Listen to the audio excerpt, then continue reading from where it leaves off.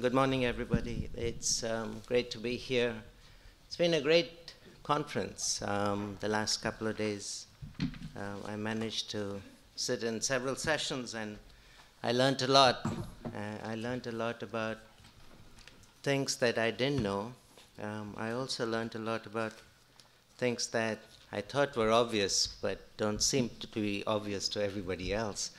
And, and I learned a lot about the fact that um, we still have major disciplinary battles going on in this agriculture and nutrition sector.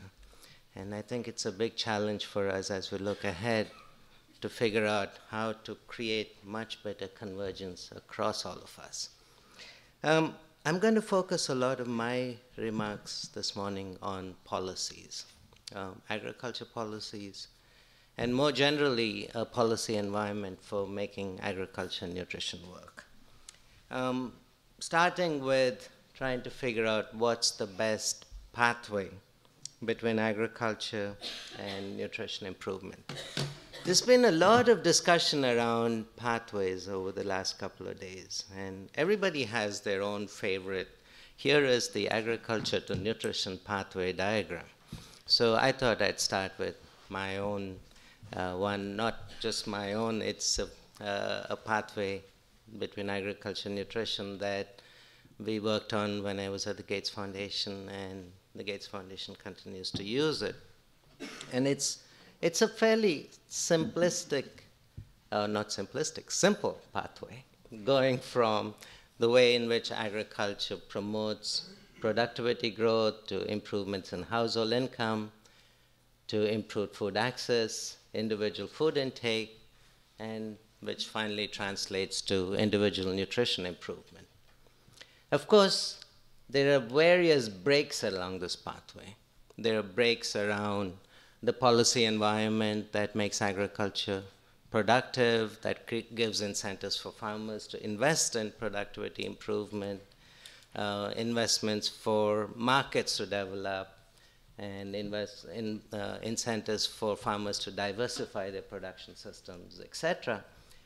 There breaks along the pathway, primarily also in terms of the institutional environment, uh, the role of women, gender empowerment, etc. And certainly the importance of water, sanitation, and hygiene conditions in translating uh, improved food intake to improved nutrition uh, for individuals, primarily when you think about children, children under two years of age, etc. One can argue that this kind of a linear pathway um, is a very simple representation. And of course, there are much more complicated representations of the same pathway. And here is an example of a more complicated representation that I've been using more recently in my new job at Cornell. And the advant- and this is coming up on our website tomorrow, so you'll get a better um, uh, opportunity lo- to look at it much more closely. The advantage of a much more complex representation of the pathway is that it allows you to look at all of the possible relationships and whenever people say, oh, you missed this or you missed that, you have an opportunity to figure out how to fit that in. But also, I think a crucial advantage of um, this representation is it starts with the individual first, individual nutrition, and then works up from the individual out to all of the relationships that are necessary for the individual's nutrition to uh, improvement to take place. So that's the overall um, representation on, on, agriculture to nutrition pathways that I wanted to present to you. But the point I want to make is for agriculture productivity to take place, to result in the adequate quantities of food, adequate supplies of food, stable supplies of food, adequate diversity of food, food that has both calorie as well as high levels of micronutrient content in terms of the diversity that's provided. adequate representation of market forces in bringing that food from the agriculture sector to the consumer's plate and requires a policy environment that gives incentives for all of the players along this pathway to work. And quite often, it's the breakdown in policies, the breakdown in the policy environment that prevents this pathway from working. And that's what I'd like to spend most of my time talking about. So let's talk about agriculture and food supply policies as they are today. As you think about where we are in, in developing country agriculture policies, I think it's quite clear that there is a strong persistence of Green Revolution focus on staple crop production. And that persistence of the, the Green Revolution focus is very, very clear whether you look at uh, South Asia or you look at Sub Saharan Africa or even if you look at East Asia. And I'm not one of those people who thinks the Green Revolution was bad. In fact, I'm a very strong proponent of the Green Revolution. And, uh, and the, the way I ad address the issue is just imagine if the Green Revolution hadn't taken place. Imagine what the world would have looked like. Imagine the enormous gains that we've made in hunger reduction, the poverty reduction, and how those gains would not have happened if you did not have the tremendous impact of the Green Revolution. So I'm a very strong proponent of the Green Revolution. But I also believe it's time for government policy to think beyond the Green Revolution, to think about an agriculture policy environment that enables not just the production of staple grains, but enables the production of a broad diversity of food groups that are necessary for improved nutrition at all levels. And I think as you think about that, we need to think about where those interventions need to come from. I think one of the primary areas where we've lost out during the Green Revolution was the emphasis, the lack of emphasis on coarse grains, on lentils, on legumes, etc. And, and you've seen this. Uh, Lawrence mentioned chickpeas, pigeon pea, etc. Lentil, lentil production in India dropped dramatically uh, after the Green Revolution. Uh, legume production dropped dramatically. And I think um, coarse grains such as sorghum, millets, traditional millets, etc., dropped dramatically. And one needs to figure out what's the mechanisms for bringing uh, these crops back into the farming systems. Um, what are the incentive uh, systems that can promote better production of these crops? What's the market systems that'll build the value chains for the coarse grains, the traditional millets, etc. And that's an that's an area that's really not being given enough focus in government policy. Uh, nutritionists talk about the importance of bringing coarse grains and uh, legumes and lentils back into the diets. Uh, but there is a break between that understanding and what needs to be done from agriculture side to make that happen. Second, if you look at price trends um, over the past several decades, we've seen the real price of staple grains drop dramatically, uh, rice, wheat, maize, etc., um, except for the most recent periods uh, starting in 2007. Um, up until 2007, you've had a steady long-term decline in real prices of staple food. And that's had an enormous impact on hunger, an enormous impact on poverty reduction. But at the same time, if you look at the relative price of micronutrient-rich food, uh, fruit, fruits, vegetables, dairy product, livestock products, etc., the relative uh, prices of the non-staple foods has gone up over time. And we keep talking about diversification of diets. But as long as the relative price of non staples is high and continues to rise relative to staples, then the opportunities for the poor to diversify their diet, diets are quite limited. And one needs to figure out what are the mechanisms that will reduce the relative price of non staples to staple foods. And I think the primary mechanism that will make that happen is improving the supply responsiveness of non staple production, improving the supply responsiveness of vegetable, livestock products, dairy products, etc. And that will only happen if there's massive investments in improving market infrastructure. Massive investments in cold storage, massive investments in improving rural wet markets, massive improvements in improving wholesale markets, etc. And yes, encouraging private sector to invest in market development. Some of the discussion I've heard around the rooms has been quite negative about the role of the private sector.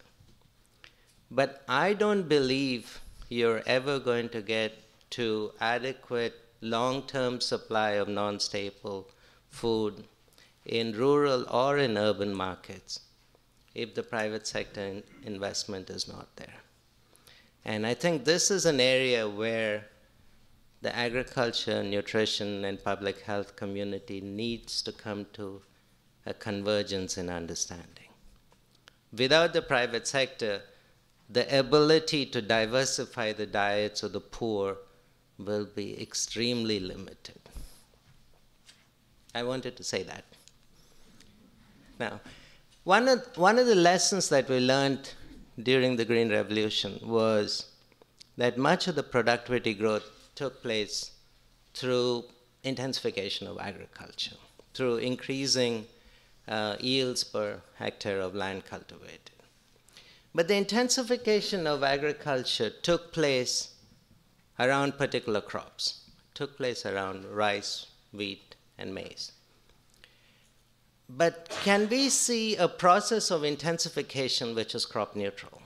Can we think about a way in which you promote future intensification of agriculture, let's say in sub Saharan Africa, where you create all of the, the necessary conditions for farmers to improve their productivity, but leave the choice of what crop farmers invest in to the farmer herself. And then the choice could be determined by market signals that are there, rather than having the choice of crop being determined by a minimum price policy or a support policy which promotes production of one crop relative to the other. I don't believe that the agriculture community has an answer to this. I don't believe the agriculture community can actually come out and tell you how you can create a neutral process of intensification which then allows the crop choice to be determined through a market. I mean, that's what happens in most developed country agriculture systems. But when you look at developing country systems, they're very much still driven, the crop choice is driven by government policy. Let me now talk for a few minutes about food, food-based interventions. I think there's significant opportunities for biofortification uh, as one additional tool in improving micronutrient access. Uh, in the case of India today, you have the opportunity of having a biofortified pearl millet available in the market. Um, I spent a couple of days with a company called Nirmal Seeds in India, which is starting to promote biofortified pearl millet. And here's an opportunity, here's a good example of the impact that biofortified food can have uh, in terms of improving access to micronutrients for the poor and also looking at what impact it has on the nutritional status of the household, the women in the household, the children in the household. And I think this is one area where there there are important opportunities for case studies and important opportunities for then translating that experience to looking at other biofortified food that's coming onto the market or that's in the pipeline. Second, um, as we think about access to food for the poor, um, government policy continues to be focused on food-based safety net programs. Um, I recently did a six-week uh, trip through rural India, and, and I drove about 4,000 kilometers. And I visited 20 different uh, villages along the way and did field work in, in those villages. And everywhere we went, we talked about the, the food safety net program, the public distribution system for accessing food grains, etc. And we'd sit down with these uh, groups of women and we'd talk about uh, whether they were getting enough access to these food grains, etc. And we'd ask them, um, you know, as an economist, you'd say, suppose we gave you cash instead of giving you that food, don't you think you'd be better off? And the women would just scream, they'd say, no way, we don't want the cash. And so I said, why? Say, we can control the food, but we can't control the cash. Once you give us cash, the cash goes away to all kinds of other activities. But if you give us food, food stays in the house and food is used then for feeding the children. So I think there's a real important gender difference when you think about what type of safety net programs work. As an economist, cash-based uh, safety net programs make a lot of sense. But from a gender perspective, it has a very different perspective than an economic perspective. So the next area where I think there's a big role for government policy is uh, behavior change, knowledge transfer, etc. Uh, the traditional ex extension systems, we talked about them in this meeting. We talked about how dysfunctional traditional extension systems are. And so there's, a, there's an opportunity now to rethink that process. There's an opportunity to think about how do you build new forms of behavior change? How do you build new mechanisms for transferring information to communities? And I think the top-down approach of the Green Revolution extension systems is extremely outdated.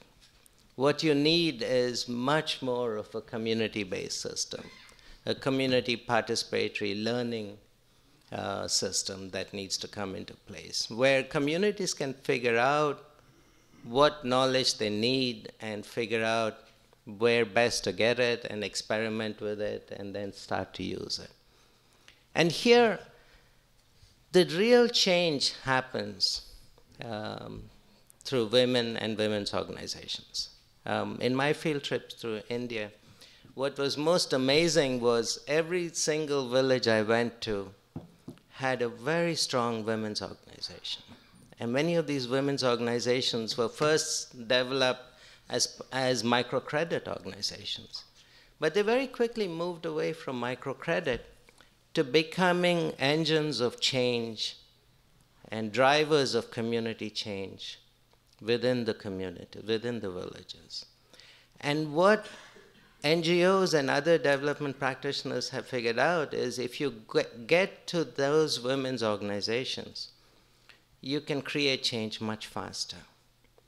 And so what, what I think we need to do as we think about extension in the future is figure out how one can proactively use rural women's organizations for improving extension work, improving knowledge transfer work within rural communities. And, and ICTs plays a big role here. ICTs can play a big role in transferring messages and lessons learned in one village to other villages. The work that Digital Green is doing in India and in Africa today is one of the most amazing ways in which ICTs are being used uh, for improved extension work, improved knowledge transfer work at community level. The last set of comments I want to make is around the breaking of silos um, between agriculture and nutrition and creating what we all desire, which is an agriculture nutrition nexus. If you look at um, the MDGs, we all talk about the MDGs. But if you put the MDGs against the agriculture nutrition pathway, you find that the MDGs are extremely siloed. And the MDGs don't add up to a whole in terms of improved household level nutrition. And that's, that's a problem when you look at many of the big, broad global initiatives and global interventions. But if you look at the country level and you look at India, India has multiples of uh, programs going on around agriculture, around nutrition, around water and sanitation, around rural employment, etc. Uh, I don't want to read out all these acronyms, but that's rural employment, national rural livelihood missions, improved agriculture productivity, improved horticulture, all the way down to improved water and sanitation programs many programs. Each program run by a separate ministry, each program funded separately, each program having its own objectives, its own administration, and all of them tripping over each other at a community level. And, and none of them being able to add to one whole of improving nutrition at a, at a household level. So, how do you get from these disparate programs at the international level and the, these disparate programs at the national level to mean something more at the community level? So, when you think about that, and, and, and I, I realize now that the nutrition community has coalesced around saying, you know, the best way to address stunting is to address the first thousand days of a child uh, from conception to the first two years. And I think that makes absolute sense. Then the question that many people come up with is so, what does it mean for agriculture if you're only talking about the first thousand days? My answer is if you're interested in the first thousand days, then the crucial person in that chain is the mother and the health of the mother. It's only when you have a healthy mother that you have healthy conception and a healthy birth, and then the, a healthy first two years. Now, a healthy mother means that your target population is really all women of childbearing age in the community, all women between 40, 15 to 45 years of age. And the health of that target population depends a lot on agriculture. Not just for food supply, not just for access to food, but also in terms of labor allocation to agriculture, labor allocation to non agricultural operations, uh, the amount of time spent uh, fetching water, the amount of time spent lifting buckets of water and carrying them, the amount of time spent cooking, etc., etc.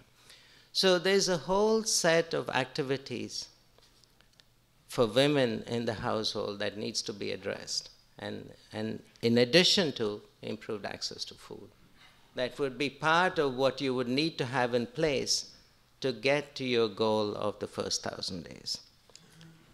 And once we settle on that, then I think at a community level, if we are thinking about convergence across sectoral programs, we need to have a clear idea of what, what our goal is and, and then set measurable progress indicators around that. So the goal could be to reduce child stunting by a certain percentage in a certain number of years. And to do that, it's important to do that at a national level, maybe even at a global level But unless those goals cascade down to the community level in terms of clear, measurable indicators of progress, you won't see ways in which various government interventions can be brought together to work around them. So you need to have a way in which once the community sets these goals, sets clear indicators of progress towards those goals, then figuring out a way in which the various interventions that are there can be brought together in order to address that goal. And finally, you do need fairly transparent monitoring systems in place to make sure that progress is being made and to make sure you identify where all the bottlenecks are. I talked a little bit about women's organizations, but I just wanted to bring that picture back to you that if you want to make this change happen, look for strong women's organizations at the community level. They, they're going to drive the change. Now, just before I sit down, I want to advertise our new website here. This is the Tata Cornell uh, Agriculture Nutrition Program website. It's coming online. It should be live today. And it has a lot of information and will have a lot more information on the work that we do. Also, we have a very active blog site. It's the Tata Cornell Agriculture Nutrition blog site, and we've got all kinds of people blogging on it. Our latest blog is Will India's new food bill have an impact on undernourished women and children? I invite you to check out our website and our blog and the next time Lawrence does a Google search on the best ag nutrition programs, Cornell will be close to Tufts, if not above it. Thank you so much.